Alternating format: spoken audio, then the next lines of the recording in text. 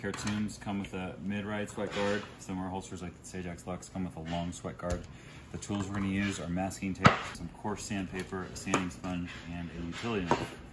Take a piece of masking tape and use the masking tape as your line. And then take your utility knife, cut carefully along that line. And then what you wanna do is just score it. Over, and over. Then once you score it a little bit, it'll just snap off like that. Leave this on the table. You just wanna clean up that edge. So I'm gonna round the corner. A few pulls like that, and now I've rounded that corner. I'm gonna do the same thing on this one. It is pretty flat and pretty smooth. I'm gonna take the sanding sponge and try to clean that up. Very simple tools, no power tools, no buffing wheel, nothing like that, in just a couple minutes.